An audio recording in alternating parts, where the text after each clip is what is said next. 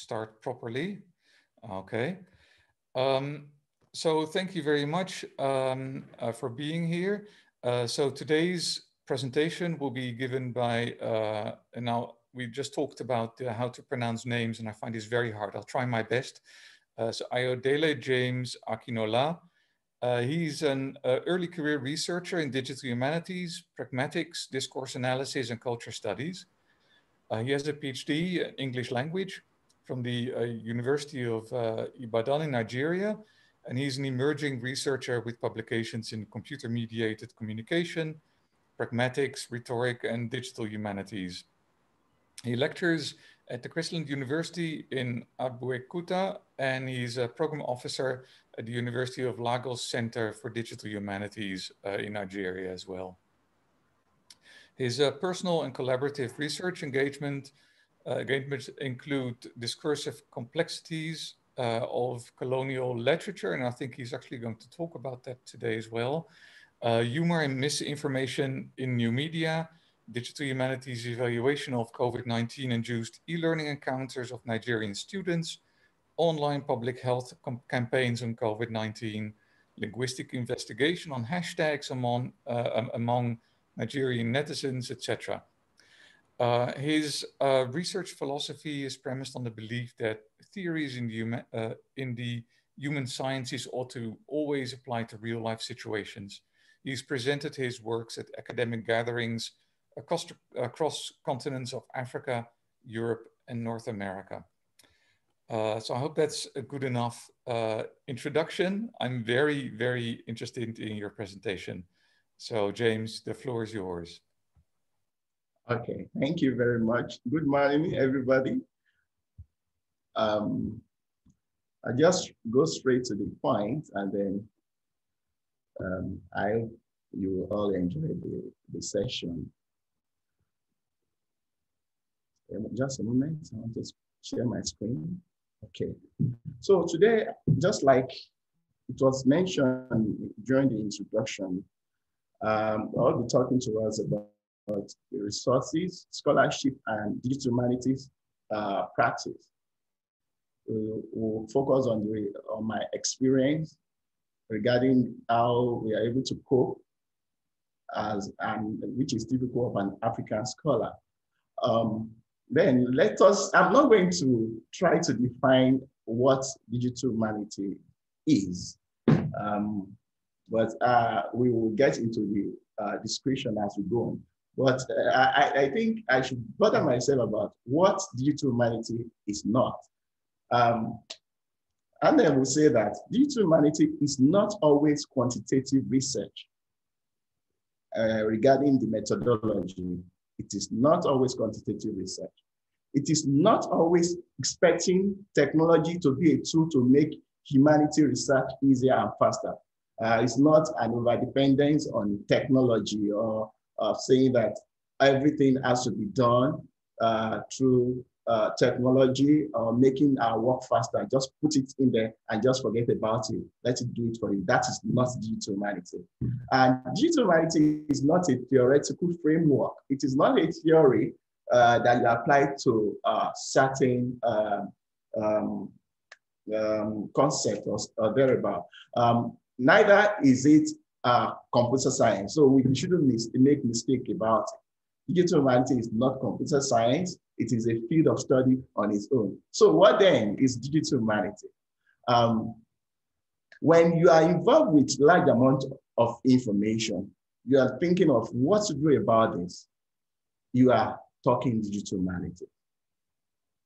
And as a, as, as a humanist, if you are looking for skills to help you do your work in a more um, appreciable way, in a more comprehensive way, or convincing way, or scientific way, um, if you have if you are looking for that skills or you are you have that skills, then we can begin to see you as a digital humanist. Um, but basically, when you talk digital humanities, you will talk about digital humanity in the digital age, which involves the use of information technology as an auxiliary collection of techniques to help solve humanistic problems.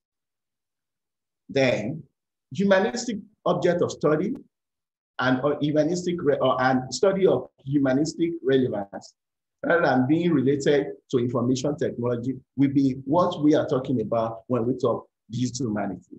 Then you should know that digital humanity is not a, a, a, mountain on its own. It is not, it is not a tree in the forest. Yeah. So it's it's a combination of other disciplines. So it is best done, uh, it is best seen as an interdisciplinary, interdisciplinary. Okay. Um, um, then we have this from dreamstime.com, um, all sorts of things that we can really look at and say, um, these are things that we do in digital humanities. When we talk about um, uh, uh, volume of quantity of analytics, we are talking digital humanity. Even business asset analysis, digital humanity. So these are the uh, common terms that you may uh, also come across when we talk digital humanity. I, am doing this um, with the understanding that there are people who are up, up, come, up and coming and there are experts here. So in promoting digital humanities, we have to uh, balance that. Okay, so digital humanities, what are those methods, processes, and activities? I've itemized some of these uh, based on um, established studies. Um, one of them is that you re, uh, when you when, when, when you have recorded source materials into a database, uh, usually from an archive, that is one of the processes of digital humanity. That's one of the activities. I have a lot of them on this page. Um, when you are also talking about digitizing and preserving archives, that is digital humanity. When you conduct interviews or carry out an ethno ethnographic studies, usually coded for thematic and discourse analysis, which is what many of us are doing presently, we are talking DH transcribing manuscripts, letters, etc., for a digital scholarly uh, edition, including Variorum and then genetic edition. That is one of our methods. When you do coding of data for either qualitative and distance uh, reading method, including code books and domain ontologies. This is it. When you are involved in analyzing large archives such as newspaper, journals, and picture libraries. We are talking digital humanities. Um, what about compiling and, and, and, and analyzing social media content? Um, just like I, I was introduced, uh, I was it was mentioned during the introduction. Um, this is a very um, interesting part of my engagement in digital humanity, which I believe I want to develop so much uh, compiling and analyzing social media content. It's it, it, it, there are a lot of uh, information out there, but what are we doing with them? So um, when we talk DH, I think we should begin to think about that too. So um, I continue compiling and annotating audio, visual database, audio, images, and then video. Um, another method when you have immersive technology such as 3D virtual reconstruction, augmented reality, and virtual worlds, there are a lot of examples in even in, in Africa, you know, there are a lot of examples of this. Um, there is also the part of crowdsourcing, uh, which we call citizen science. You know, these are part of methods, uh, processes, and activities uh, that we talk about in digital humanities. Um, when you are also in, you can you can do digital humanities by being involved in web app development, mobile app development, website, virtual exhibition, online research resources, or you have a user-generated content. We talk digital humanity. You can also have map-based approaches such as historical GIS and working tour apps. There are a lot of works on, uh, on this part too. Um, then we have corpus linguistic, their, dialectolo dialectology, allometric, um, translation studies, and other approaches to language study, whether written or it is uh, spoken. We, we, these are also interest in digital analytics, processes, and method. Okay, and finally, uh, we'll talk about data visualization of humanities content, such as social network diagrams and cluster diagrams.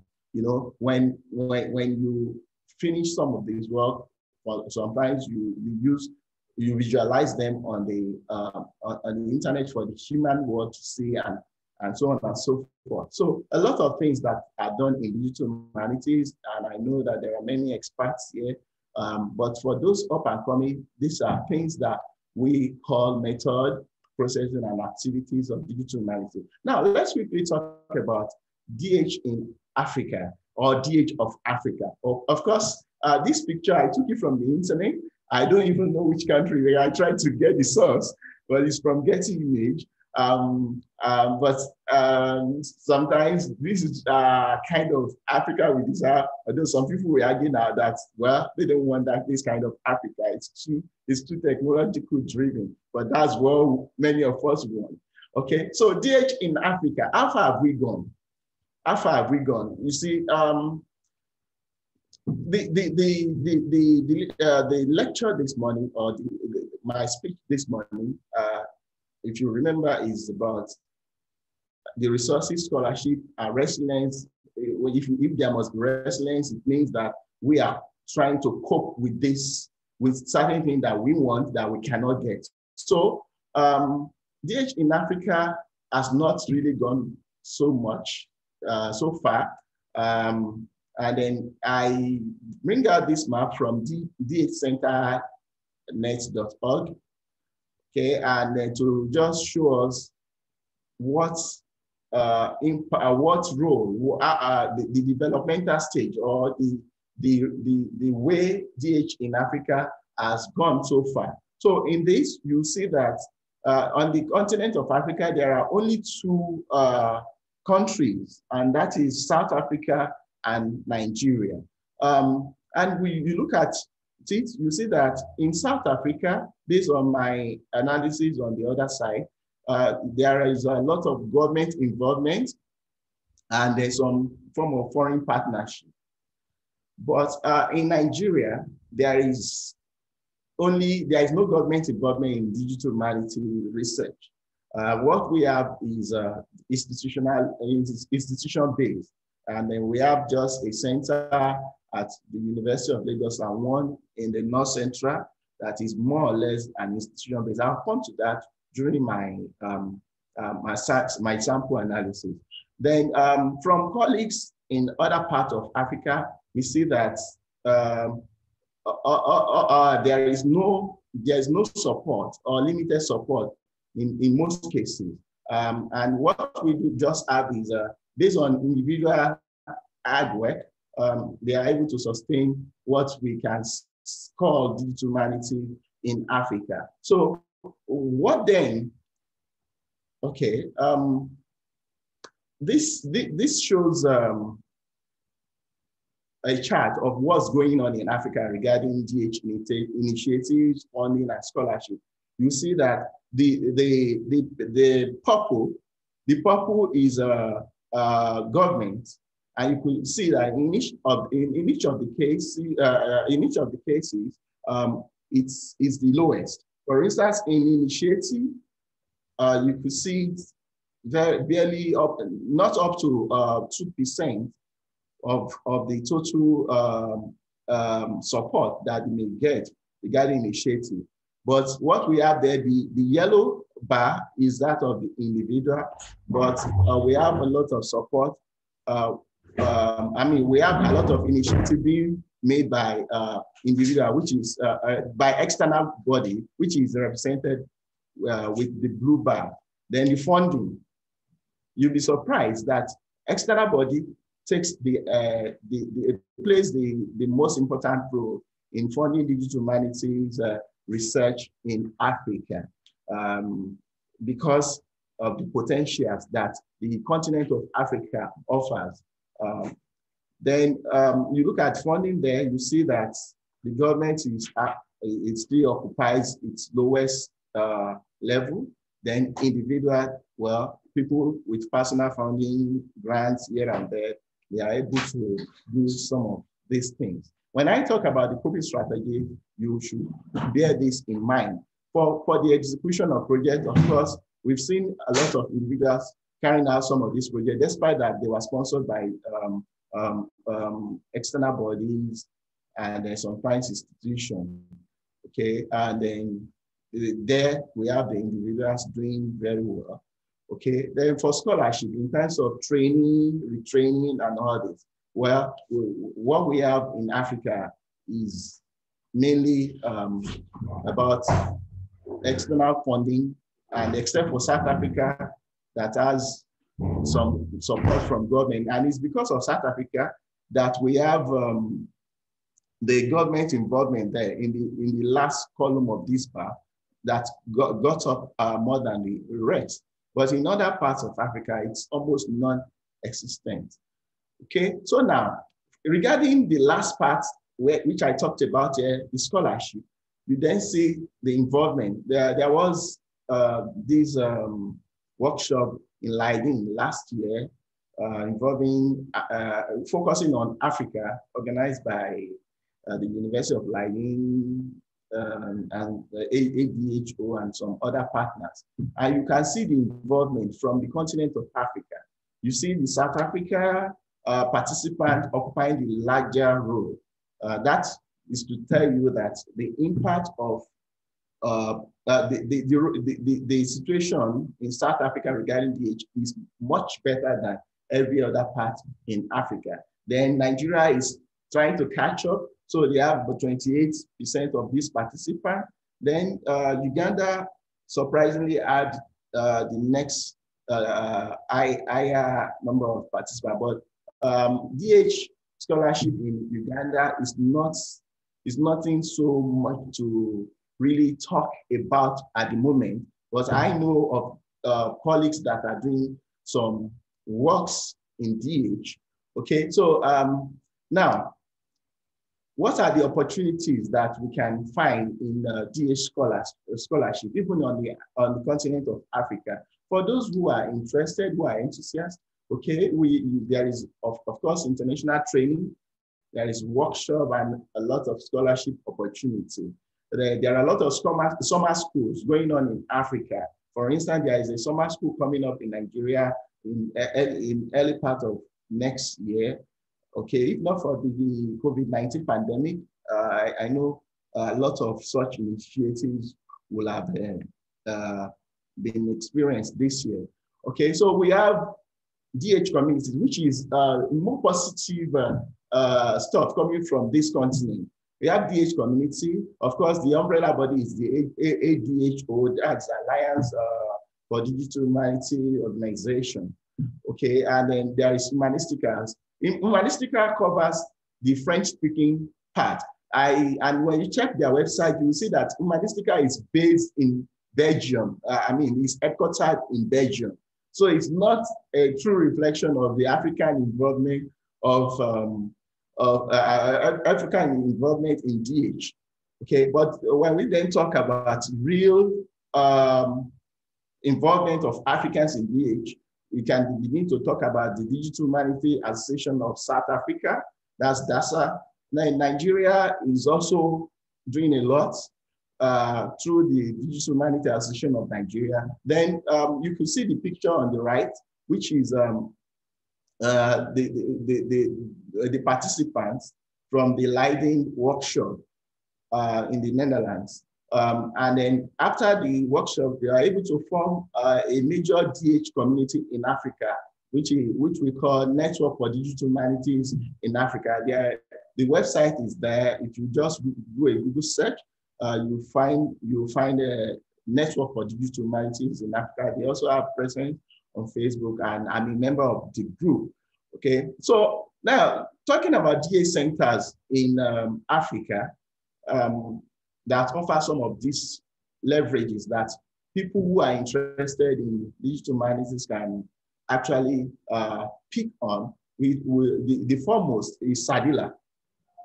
It's the first of its kind in the continent of Africa. But I, I know that it was uh, sponsored by the government and it, it has been able to attract some other international donors and fundings I mean, funders, I mean, um, those who financial sponsor rather to itself.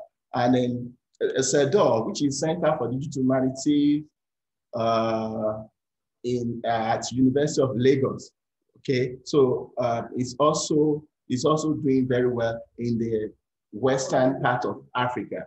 Okay, so basically, what's what DH in Africa offers us is that it, it offers international training, workshop, and scholarship. There are a lot of summer schools, just like, like I mentioned. There are DH communities that any interested individuals can grow. And then there are DH centers um, that you can actually get in touch with and get help. Then majorly, um, there is this, uh, what we call collaborative research, which I'm also going to talk about much later. You know, um, DH in Africa, that's, that's what it offers anyone who is interested, whether you have been practicing or you, you, you just want to come into the, uh, to the field. So, but let me quickly talk about my personal reflection. Um, of course, some of the things I've been talking about, they are my personal reflection, but I want to just do a sample analysis of uh, what I have been able to do regarding DH in Africa, how somebody might get inspired and then um, go ahead and do much better than some of us are already doing. So I pick on the topic, uh, digital humanities and discursive complexity of colonial literature. You know, this, study was influenced by um, one of my visits to one of the archival uh, centers in Nigeria, and I and I discovered that uh, what you have here, and I saw letters between written between the colonial masters and the chiefs, colonial master and governors, uh, just lying away. Some you see, um, you see them just looking on kept. And I asked myself, what can we do? Can we can we not digitize this? And then um, I tried to first look at the contents and then do a textual analysis of uh, this. So um, quickly, I then talk about what colonial letters are. Okay, in this in this in this talk. So of course, colonial letters are a means of communication among colonial masters in major parts of the world, especially Africa, between the 1870s and 1900. Then it, it then served as a medium of exchanging thoughts, feelings, or information between the ruling colonial masters and colonized subject of vice versa. Um, of course, for us, what's important is uh, uh, the colonial letters, which I call colonial literature. You know, uh, what does it hold for us? It's a reliable source for analyzing Africa's encounter with Europe, owing to the historical antecedent and cultural values of those letters. Okay, now, colonial, let, uh, colonial I, I, won't, I won't bother us with all this. Let me just move on. So uh, the objective, just like I mentioned, I want to look at, I want to collect archived colonial letters that are in Nigeria or that are relating to Nigeria. Uh, I want to identify the various discursive or pragmatic patterns that shape the complexity.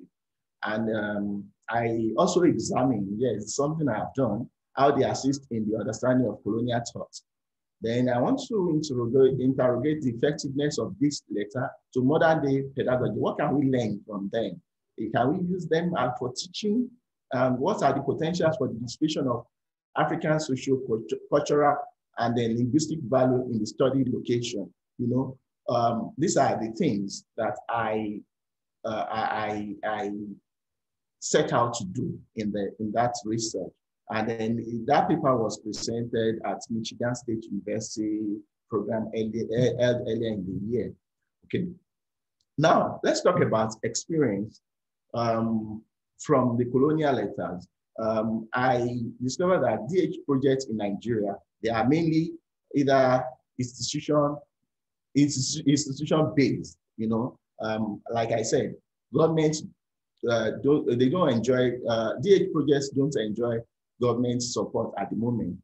And then we'll continue to drive the narratives and sometimes maybe we'll get them. So in the Southwest, there is only Center for Digital Humanities, mentioned earlier, and talking about Nigeria now. And then there is another one in the North Central state of Kwara, where we have Center for Digital Archive of African Mother Tongue Languages.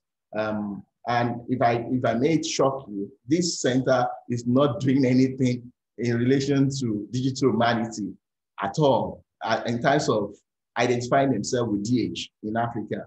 There is nothing, there, there is no, no, no collaboration of sort, you know, with the center. So we'll, try, we'll try to see if we can bring them in and then so that we can continue the collaboration. So um, now, from the centers, from, from, from my experience, I noticed that one of those things that are impairing um, against uh, DH here uh, in this part of the world, our economy is one, uh, and then the economy will of course influence our infrastructure. Sorry, I just want to plug my connection.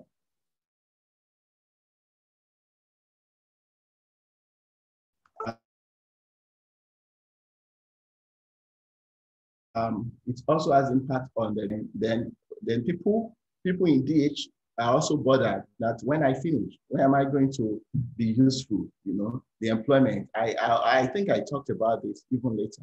Then then the obsolete obsolete uh, archival culture is there. Then uh, we don't have that practitioner as such. And then the lack of standard method of access to the public um, and access to work at some archival centers make my research difficult, uh, you know, to really exchange, I mean, to really get gain access to colonial letters. Okay, so um, this is one of those centers I visited. I, I, I, I the, the, the, this center uh, is the national is nationally owned. Of course, what they do is just to uh, keep record of all the archivable stuff that they have based on the region. So they have this in virtually six geopolitical regions in Nigeria. Okay, so um, this is the center, but I had a na nasty experience when I went there. Um, this is um, the center I went in here and I did not meet anyone on that on that day. I wanted to do a research on colonial letters. I moved in, the, the letters, some of the some of the documents you receive them um, on the on the floor, um, on the table, in the in, on the shelf. Some were locked up. You can see this. Some were locked up. Some were just lying fallow there. Um, and then the worst case scenario was that it was difficult to even find anybody to talk to. You know, I had to go over and over and over and over before I was able to talk to someone um, on that day, uh, on other days that I went. So, um, um, but I want to quickly uh, tell us if you want to do this kind of research, it is not impossible. Um, perhaps I was not lucky when I went. Um, but if you want to do this kind of research or you want to collect um, uh, so, um, in archivable information from the National Archive. You can, these are the procedures. Um, for, first, you go to the applications. Uh, you, you submit an application to the center. Wait, it will take weeks, it will take days, depends. And I wouldn't want to say more on that, you know, but you have to wait for approval. Then you have to pay to access the place. Then you have to be on a, an appointment for the access the day you are going to come and then do whatever you want to do. Then you will then have to go do what I, I called manual catalog perusing. And then you start taking notes. And then you have to go over and over and over.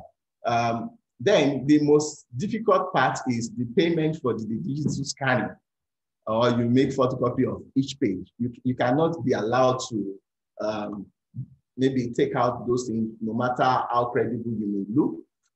Um, you have to uh, allow them to do it, and it might not be the, the pay might not be favorable to you. Okay, so um, these are the some of the stuff I was able to scan, and I subjected them to um, contextual analysis and then uh, uh, digital analysis of content. For the digital analysis, I use AntConc and the R Studio, and then Late, um, for the um, for the contextual analysis, I applied the theoretical uh, framework of pragmatics. You know, just like I mentioned, digital humanity is not a theoretical framework, so you cannot even apply, uh, try to apply it to uh, a, a, study. So it's just a body of knowledge that you can really utilize a lot of tools that are inherent in it. So um, for pragmatics, pragmatics explains how language users are able to overcome um, apparent ambiguity uh, by relying on what the speakers say in that in, in, in the speech situation in terms of what time is this speech said, what is the manner, and then what kind of text is used. If I if I talk um, uh, verbally, it might be different when I write. So for pragmatics, such things will be looked at. Okay, and then there is a model of pragmatics, um, the, the popular one by Jacob Mey, uh, that is called Pragmeme, and then it has all these features. But I'm not going to bother us with all this theoretical uh, stuff now. And then um, from th that uh, um, Pragmeme, I was able to um, uh, adapt it to um, what I would say my own kind of framework. And I was able to deduce from the data for, in the field some of this. For example, I said that um, the inference from the data, that is the colonial letter, we could see that inferences were made to the colonial administrators, and then there is community thugs, and so on and so forth. Then we can see traceable names. When we talk about reference, you know, we can see traceable names of people, cities, events, and then uh, reply to previous letter, and then based on the need of the moment.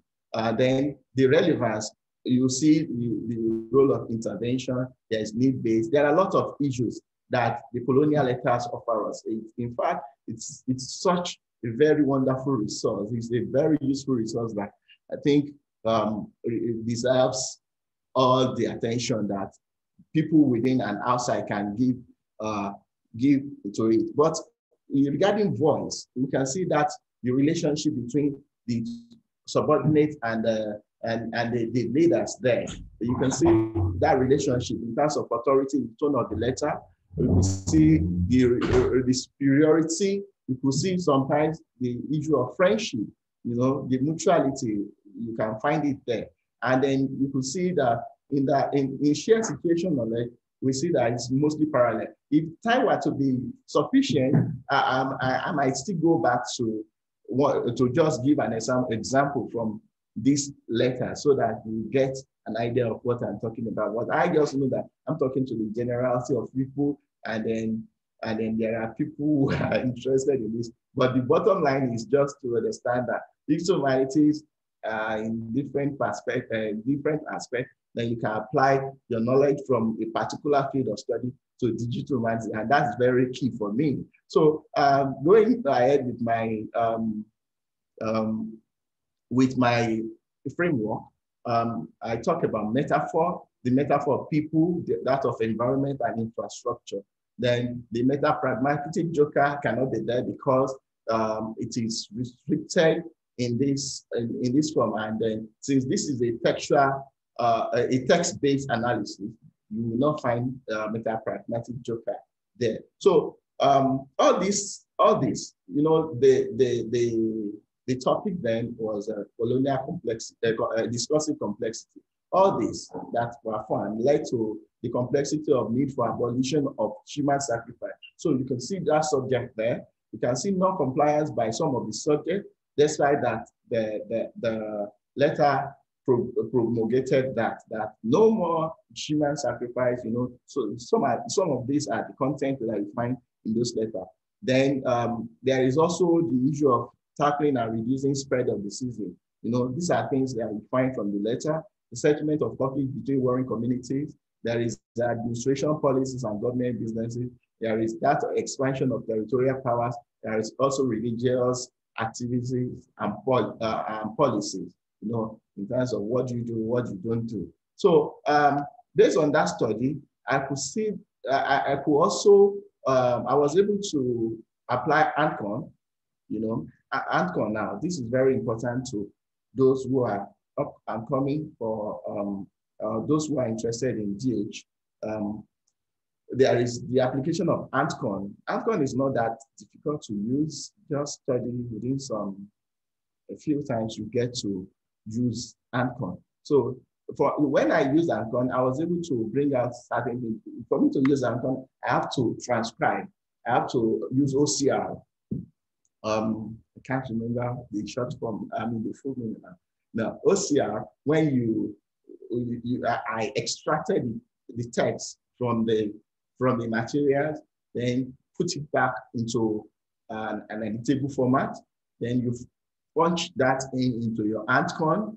You know, you segment them, you punch them in into your AntConc, and the AntConc is able to analyze uh, different things for you.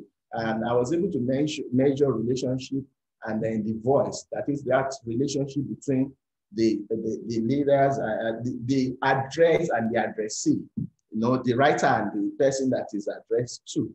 Now, I push, some words into AntConc to find um, this relationship and the voice that were uh, fine. So I, I, I use, and these are the words. So when you punch all this in, look at this. For instance, I punch inform or oblige or privilege. Look at this. So we're able to get this. I'm happy to inform you that, you know, um, that uh, do my promise that I will inform your excellency. So you can see the one I'm happy to inform you that, you know, you can, if you look at the full text, you can then begin to understand the, the relationship between the writer and the, the, the person that the letter is addressed to uh, you look at obliged to, You know, if you oblige us this rare privilege, whereby conform to letters. So the other one, you can easily see that is, is written by a subordinate, you know, that is feeling privileged to get something to the superior, you know, and so on and so forth. So I, I, I move into conclusion on that paper. And I say that there are many pedagogical relevance of colonial letters that you can find just on that paper. You can find the discourse patterns. You can see the historical authenticity of the letter, that they were truly what happened in, in the history of um, the, the environment that the letter was extracted from.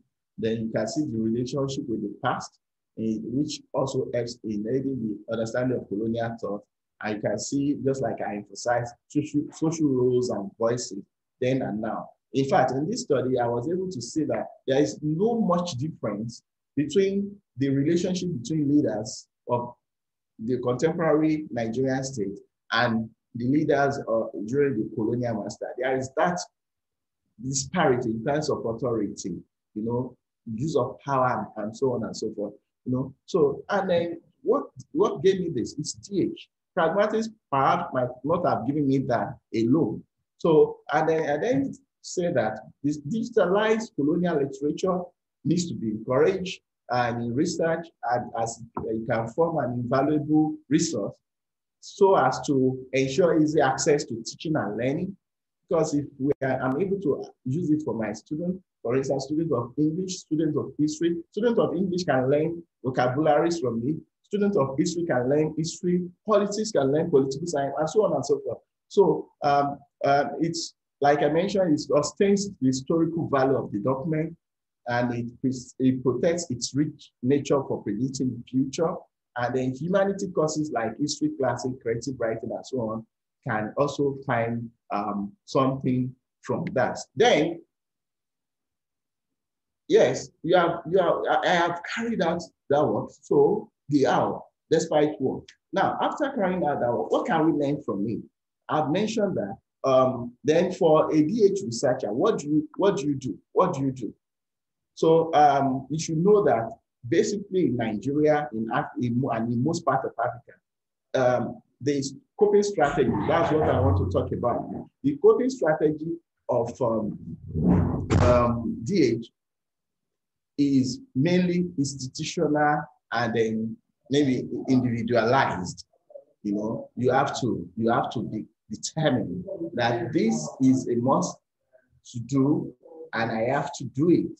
Okay, so um, the first thing that you need to cope in being a scholar in DH, I'm talking to the young, uh, to, to those who are coming up and coming up. The first thing you need to do is to have passion for digital humanity and ICT-based research. You know, you want to deploy the technology to your research, the different things. You want to deploy technology to your research. So um, there is an application of interdisciplinary theories. Okay, um, you are ready to apply other concepts, other uh, um, philosophies from other discipline to your own, I mean, to your study. So, so um, if you are able to do that, if you are ready to do that, and you have your clear method, you will be able to cope and even stand uh, stronger in digital humanities. Then there's no way I think that you can cope efficiently without having some form of mentorship. Now we have DH community, so it is easier now than before to find mentors in digital humanities um, yeah, I'm sure that if you uh, contact people in SADiLaR, in Acedo, and some other DH projects or uh, initiatives that are springing up, I'm sure you're going to get uh, mentored, your the kind of mentorship that you are. Um, in, in, in, talking about mentorship, don't forget you may have to attend training and and then um, uh, and summer schools. Some of them are free, mainly they are free, uh, the one in Nigeria, I think it was sponsored by a body in Germany, and because of that, I think it's almost free. But people applied, and it's going to be restricted to those who apply. Now, the, the, the, the, the then for to be a successful um, um, DH scholar, uh, and then you want to cope, uh, you have to be devoted and committed to information, uh, information. That is, you search and search over and over. Um, basically, for instance, I, I was not trained formally in DH, but I attended summer schools training and I was privileged to be mentored by some of these people. Uh, Okwebi, for example, uh, created that avenue for us to be well mentored. And that's why we are here talking to you today. So um, then you cannot do DH if you don't have basic knowledge of computer, it is not possible. Just basic knowledge. If you can operate your phone and you can copy and paste and then uh, download certain uh, software and then know basic things, basic computing knowledge. I, I think you just need those things. You don't have to be a programmer, okay? Although it is a very good skill uh, is a very good skill for you to acquire. And then if you want to cope in this field, it's good. If it is HTML, if it is just Python, the basic part, just like some of us are doing, you you can you can you can actually explore it. Then there is no way to survive in DH without collaboration, because where your knowledge ends is where some other people's knowledge begins. So you have to really collaborate, seek collaboration. Um, don't be um, don't be a, a, a um, don't be a, a, a, tree in the forest. Don't be don't be untrainable. Don't be unadvisable. I, I think you just need to collaborate. That's why I repeated collaboration, collaboration, collaboration. Then um, I'm rounding off in a very few minutes. So if we can sustain uh, the momentum of even our resilience, our, our, despite all the infrastructural decay, uh, all the challenges we are going through, we can really, we can really take DH beyond what others uh, are expecting from us. I can tell you, uh, dear Africans or people, researchers who are interested in Africa, if you don't do it yourself, nobody is going to do it for you. Some of these applications we are using want to produce our own, want to do our own, uh, want to uh, develop our own app uh, application, want to uh, uh, develop application that will be useful to our own uh, text so that even the whole world can then begin to use some of these things, just like we are using those of others. And I think that should even be one of the goals of DH. With that, uh, with that, uh, with that, I will want to say thank you for your attention, and I hope um, that um, you have had a wonderful time with me. Thank you very much. Okay, thank you very much. Um, I personally really enjoyed uh, your presentation. I think there's a lot of information in there. Um, I, actually have a few a few questions, but I'd very much like to open the floor to all the other um, uh, participants.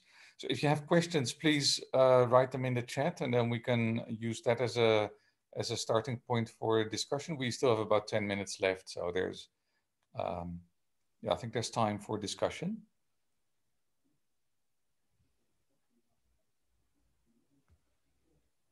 Okay, I don't see any questions yet. So think about if you have questions, put the, okay, Johannes, Sibeko has, least says hi.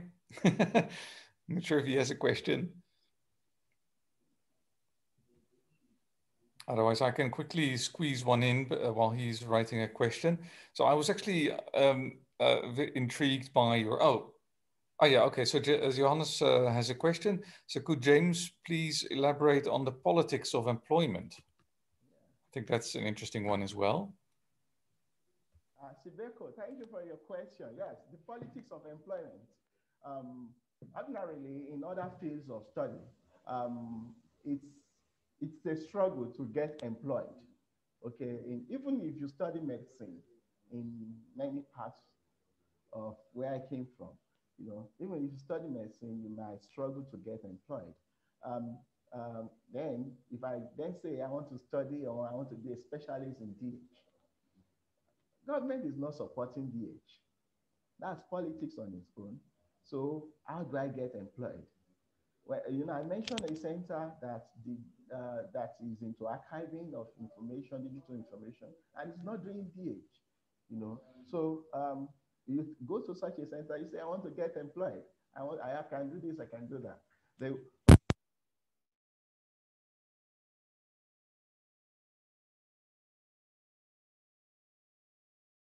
um,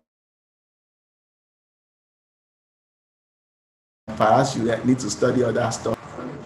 I hope you understand. So I, I, missed your last part. I'm not sure if it was the connection or if it was uh, the connection on my side. Okay, let, let me take it again. I was talking about it. I said um, employ getting gaining an employment might be it might is even a challenge presently, even when you do um, a much uh, popular when you are from a much a more popular field of study like medicine, um, law, and so on and so forth. So if you then tell someone, I, I mentioned um, a center that is into digital archive and is not doing DH, you know. So if you get to such a center, you say, oh, I'm a DH researcher. I want to work with you. Um, I'm satisfied. I, I'm, I'm certified and then this and that. And then it tells you, no, I don't know what you're talking about. You didn't study the contemporary stuff that we know about. So, uh, uh, sorry, you can't get employed here. So the politics, because the government is not even seeing DH, they don't even understand what is DH. So it might be challenging for someone to really gain employment. So because of that, some who we naturally want to go into DH are skeptical. And so, am I going to get employed at the end of the day? or even can I can this better my life? That's the point. Okay, wonderful. So this actually kind of ties in with the question that I had. Um, so you you've given an overview of the things that happen in DH in in Africa. So there there are things going on, um, but but now you say, well, uh, there are a lot of people who don't really still don't really know exactly what it is or what you can do with it.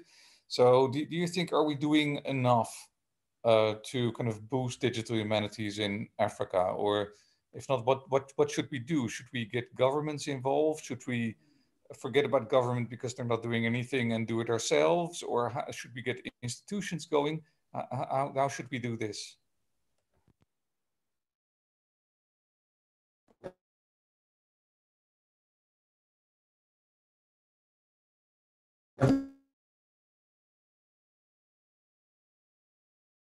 um, there are a lot of uh, uh, um, space spaces to cover, and then. But if you tell me, are we doing badly? I'll say no. But given the opportunity, given the privilege of infrastructure, resources, funding, uh, Africa will do much greater than even the rest of the world with DH. Okay, wonderful. Thank you. Uh, are there any more questions? Oh, I see another question here. So what is the uniqueness of digital humanities um, when compared to what has been on ground before?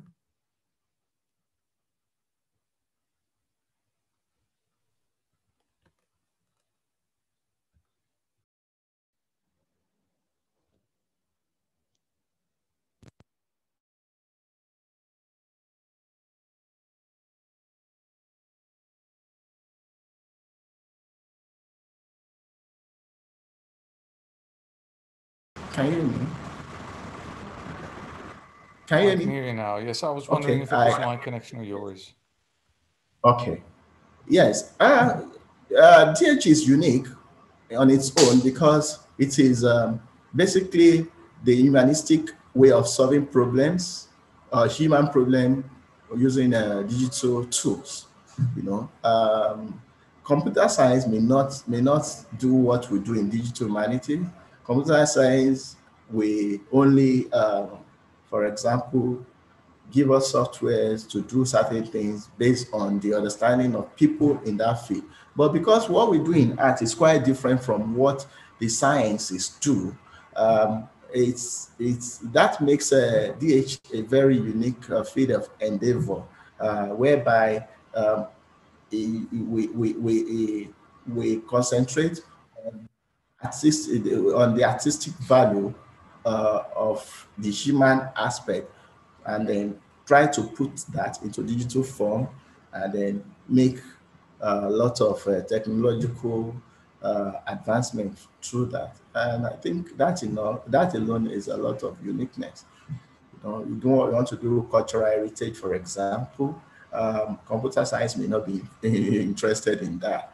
You want to archive information. Computer science may just put it in a way that may not be accessible to a typical humanist. You know, but DH is making all those things to be very easy and then more accessible and easily understand uh, understand, understood to people in the in the in, the, in that even laymen can understand. Yeah, that's the point. Okay, thank you for that. Uh, that was quite uh, insightful. Um, okay, let me see. Now things are happening in the uh, in, in in the chat. Uh, so Ruwader says, thank you for your presentation, James. You mentioned the importance of collaboration. How can we best ensure that the DH community does not work in isolation on similar projects?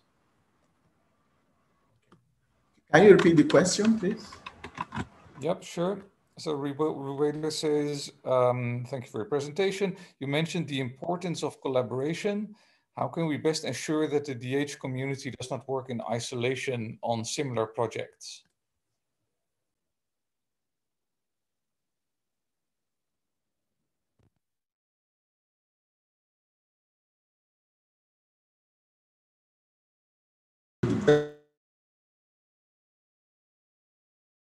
best choose in DH because there was a fluctuation in network connection then. Um, is that is that what you asked?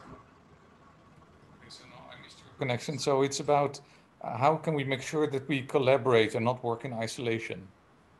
Yes. Well, luckily for us, there are a lot of DH communities that are coming up. I think as a DH researcher, the first thing is to join one of these communities.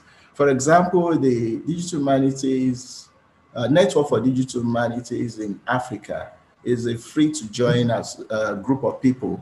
It's not even yet an association you know so you join you look out for such join and you can get out, uh, reach out to people to uh, I, I don't understand fully the, the operation of SADiLaR, but I, am sure that uh, they make collaborative work to uh, very uh, possible too for people.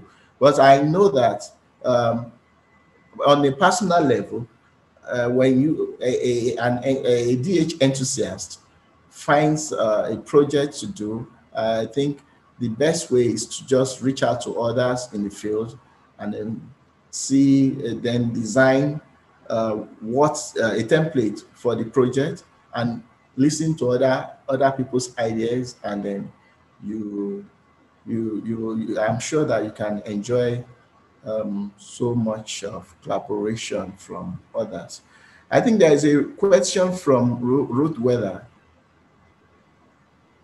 Yeah, that was actually that question that you just answered. okay. so okay. Thank you for that. And I think Liane also had a question, but I think you've answered that uh, as well. So how how can you approach this collaboration? But I think you've just answered that. Um, I also see that it's just past 11. Uh, I think um, some people have uh, other appointments, unfortunately, as well.